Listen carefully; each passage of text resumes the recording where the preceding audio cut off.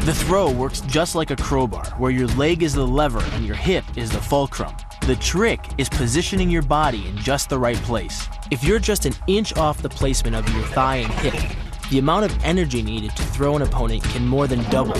But performed correctly, Uchimata requires almost no energy, yet it can deliver up to 5,000 pounds of force. If it weren't for the mat, a throw like Uchimata would be enough to cause serious injury or even paralysis.